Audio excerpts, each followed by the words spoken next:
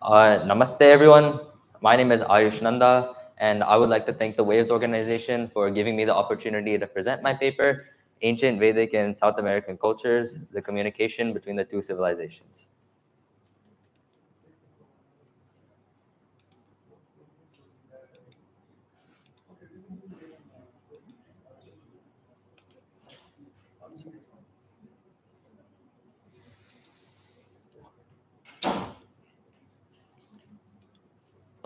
Ancient and Vedic South American cultures uh, showcase many long-standing traditions, and these traditions have their own uh, cultural significance and have developed over the course of hundreds of years.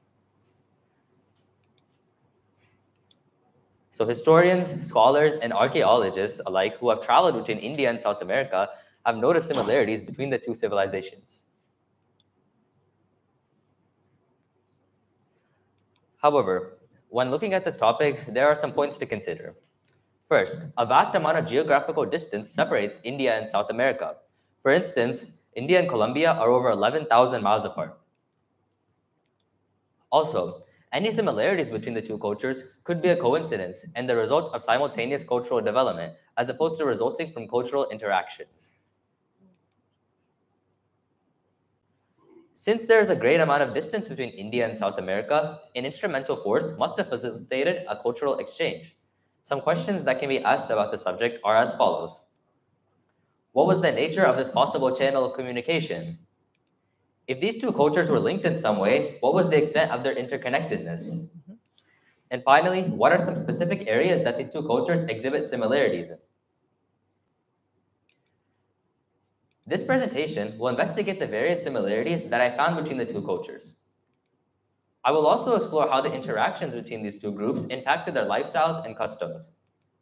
And finally, using historical and archaeological evidence, this presentation will shed light on the nature of the route of communication between India and South America.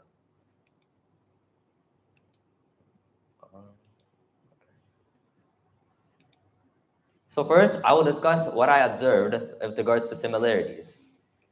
Then I will set, shed some light on what we already know about the relationship between Indian and uh, Vedic and South American cultures.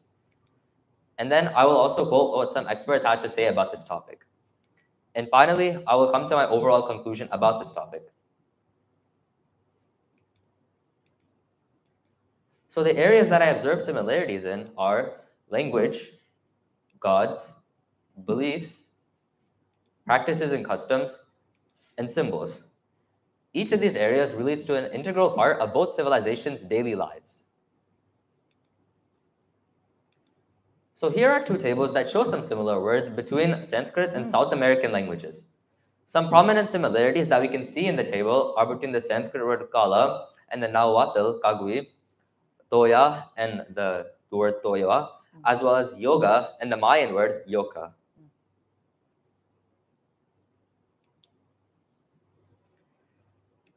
Incan civilizational memory speaks of gods called Viracochas that came from foreign lands. These gods are said to have commanded elements and they came from across the ocean in order to civilize the Incas. In Vedic literature, Virochana is the name of a Hindu king who was the son of Prahalada and the father of Mahabali. The Vedas say that Virochana and his son Mahabali left India in order to establish colonies in faraway lands, possibly referring to South America. Vedic and South American cultures worship gods and higher powers of similar nature. The concept of Trimurti, or three main gods, is embodied by Lord Brahma, Lord Vishnu, and Lord Shiva in Hindu culture. This same concept is also found in Mayan culture, with the Mayan Trimurtis being Ho, Huitzilopochtli, and Tlaloc. Lord Yama and the Mayan Yam Simil, the goddess of death, are also similar, as well as Kurma the tortoise and the great turtle located in Guatemala. So here is an image comparing Lord Yama and Yama Simil. And finally, here's an image of the great turtle, which is located in Guatemala. Some other depictions of gods that uh, resemble uh, those of the Hindu culture are the statue of the Mayan monkey god. Some say that this god resembles Hanuman from the Hindu pantheon of gods. And the images on the right depict Hindu and South American representations of Mukhalingams.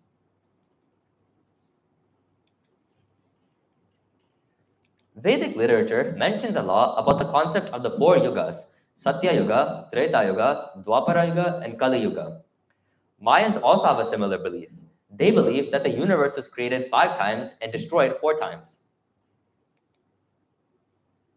And both cultures also believe in the concept of rebirth and that death is not an end to one's Mm. life. Good point.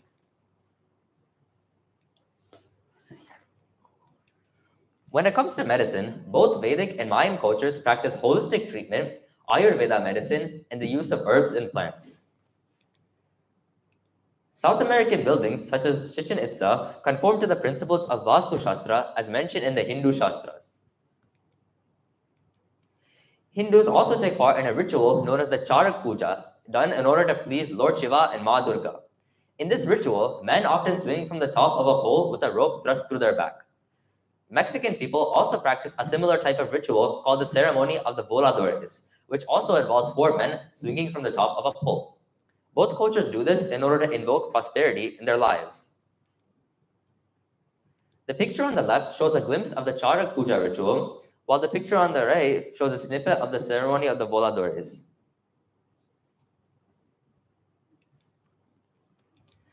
Structures of elephants are found in Copan, Honduras, despite the fact that elephants are not native to the South American continent. A fire temple, or Havan Kund, was sited at El Paraiso, Peru, and is claimed to be very ancient. It is thought to be a place of worship for the Hindu god of fire, Agni. A prominent symbol of India, the lotus appears in the lower room of the Temple of the Tigers in Chichen Itza. And here's an image of the Havan Kund that was found at El Paraiso. Now that we have examined some of the similarities that I found through my research, we will look at the information that is already known to us. So there are a couple of different routes early humans could have took in order to reach South America.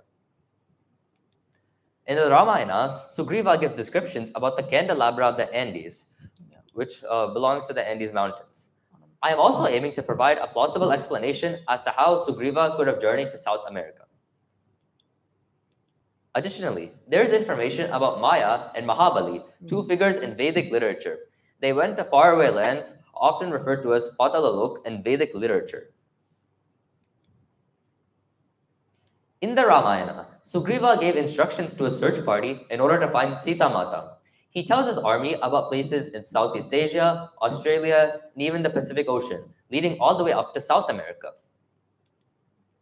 Sugriva talks about a massive geoglyph etched into a mountain in the Andes that is known as the Candelabra of the Andes or the Paracas Candelabra.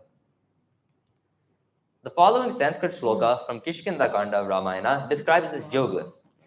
Trishiraha kanchanaha ketuhu taladasya mahatmanaha sthapitah parvatasya agre virajati savedikaha. Shloka 53 from the previous slide describes a golden pylon, which is essentially a giant geoglyph. This pylon has three branches and also displays a Vedic oven shape at the bottom. The following shlokas give us more details about the candelabra of the Andes. Kritam tatridasheshvaraihi tata param hema mayaha shrimanudaya parvataha तस्य कोटिदिवं स्पृष्ट्वा शतयोजनमायता जातरूपमयी दिव्या विराजति स वेदिका So shlokas 54 and 55 tell us that the pylon may have been used as a celestial compass.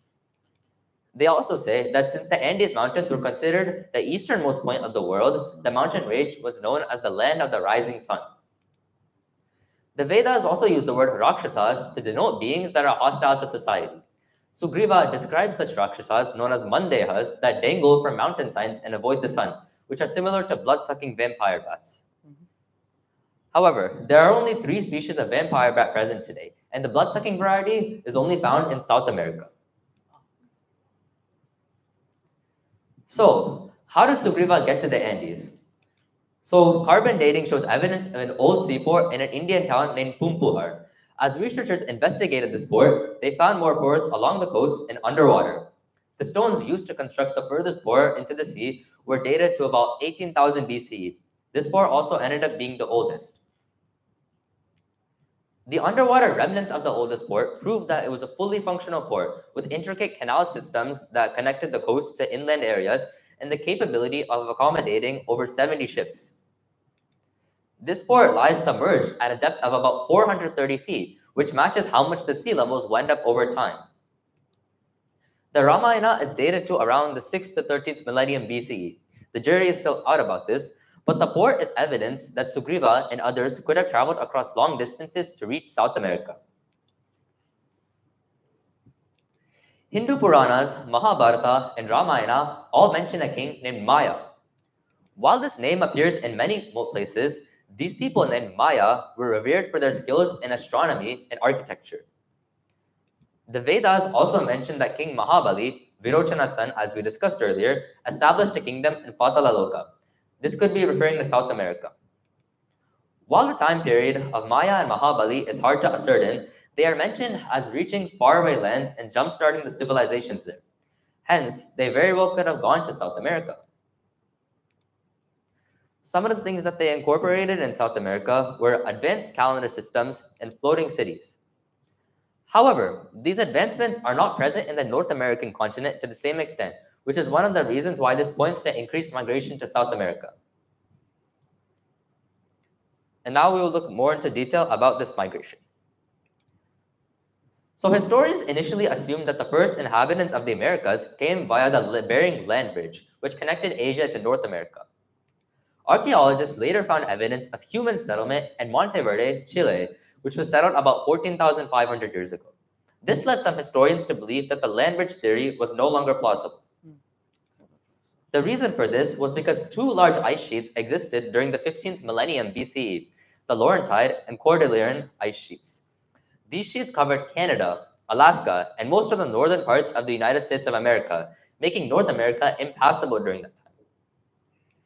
Genetic studies also show an admixture of genes from Australia and Southeast Asia to be present in South American populations. However, the important thing to note here is that this admixture of genes is absent in North American populations, which indicates that people must have migrated to South America via the Pacific Ocean. So now that we have looked at what I observed through my research and what is already known, it's time to look at what experts have to say about this topic. So in 1849, United States Charged chargé d'affaires to Central America, Ephraim George Squier wrote, a proper examination of these monuments would disclose the fact that these buildings, temples in Palenque, Mexico, correspond with great exactness to those of Hindustan, India. Scholar Miles Poindexter called the Mayan civilization unquestionably Hindu in his two-volume 1930 treatise, The Ayar Incas. And finally, scholar Ramon Mena believes that the Nahuatl, Zapoteca, and Mayan languages are of Hindu origin. He claims that the tribes who speak these languages speak of India and the Orient. And finally, we come to what I surmise about the relationship between ancient Vedic and South American cultures. So Vedic and South American cultures share a lot of common characteristics, ranging from language, uh, gods, beliefs, customs, etc thus reflecting interconnectedness between the two groups. Genetic studies, historical and archaeological evidence, as well as descriptions given in the Ramayana are all indicators that ancient Indians must have migrated through the Pacific Ocean in order to reach South America. And finally, it is important to note that my research is only the tip of the iceberg. More investigation needs to be done in order to evaluate the full extent of the connection between India and South America. Here's a QR code that will take you to the current version of my full paper for those who are interested. Namaste, and thank you for listening to my presentation. If you would like to ask any questions or offer any suggestions, please feel free to do so. Ram Ram.